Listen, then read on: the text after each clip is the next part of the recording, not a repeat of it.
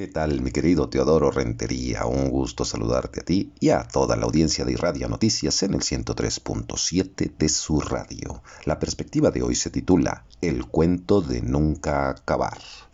Hoy en la mañanera, Andrés Manuel López Obrador insistió por enésima vez en repetir, al estilo del propagandista estrella del régimen hitleriano Joseph Goebbels, que nunca en la historia de México un presidente han sido tan atacado en los medios de comunicación como Francisco I. Madero y él mismo.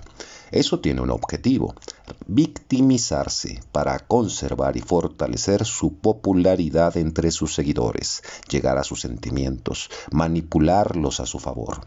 En buena medida lo ha conseguido, como se puede apreciar en las encuestas, pero el presidente equivoca su apreciación de la historia.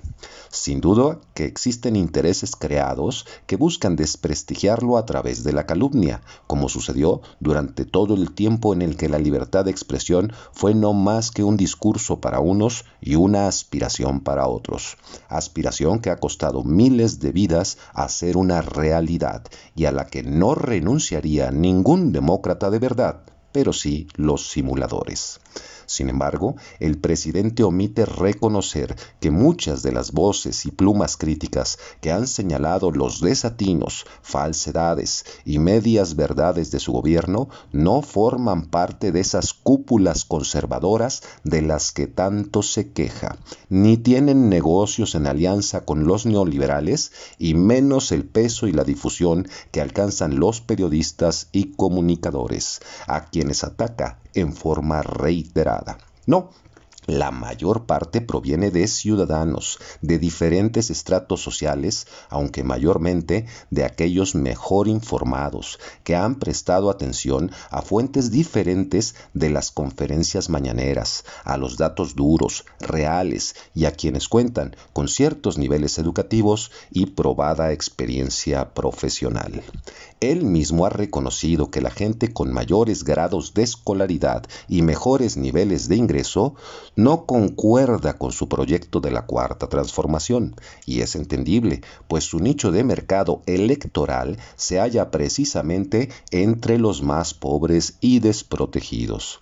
De eso ya hemos hablado. Su negocio es lucrar políticamente con la pobreza, de ninguna manera terminar con ella. Que los pobres dejen de serlo y tengan acceso a educación de calidad e información proveniente de fuentes plurales haría que se acabe su negocio político. Si se está de acuerdo con el presidente, como ahora lo hace el PRI en el tema de la Guardia Nacional, entonces dice que se está actuando de manera responsable. Si no, entonces se es acusado de corrupción, conservadurismo y hasta traición a la patria.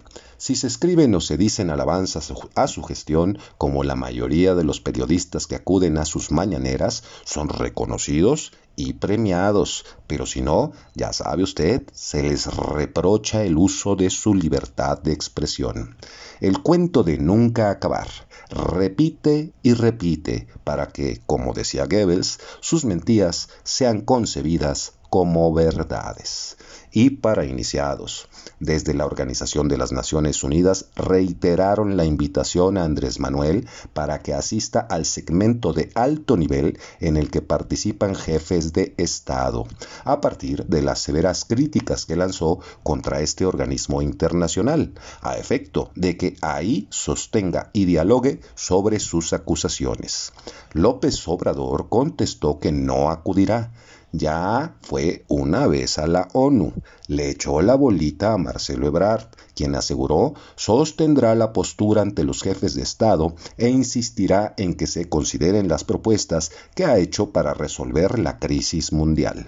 Unos dicen que le sacó otros que es un desdén propio de su soberbia, y algunos más que, consciente de que si no ha podido resolver los problemas de su país, sabe que si va sería vapuleado a nivel internacional al pretender resolver los problemas del mundo con discursos desde las mañaneras y sin siquiera hacer presencia personal.